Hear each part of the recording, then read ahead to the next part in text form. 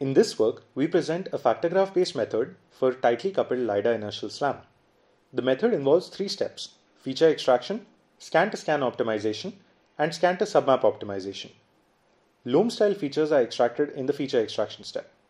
These features are used to create factors that are jointly optimized along with factors based on pre-integrated IMU measurements within the scan to scan optimization. The resulting transformation is used to deskew the point cloud as well as provide a prior for the scan to submap optimization.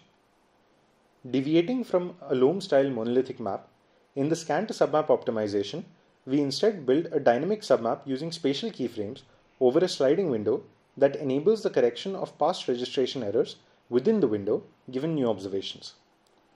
This step also uses point to edge and point to surface correspondences to create constraints between the keyframes instead of a relative transformation that would allow registration errors to persist when new keyframes are added or loop closure events occur. Incremental fixed lag smoothing is also used in both the optimization steps and ensures a bounded computational complexity. The proposed method is evaluated on datasets from an aerial robot in subterranean and industrial environments, and the resulting map and path are compared to that of CompSLAM, our loam based method that was developed for the DARPA Subterranean Challenge.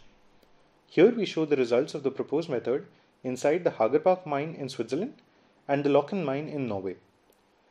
In the former environment, the robot autonomously explores some wide branches of the mine, while in the latter, the robot is manually piloted from the larger room-like section of the mine into a long narrow tunnel.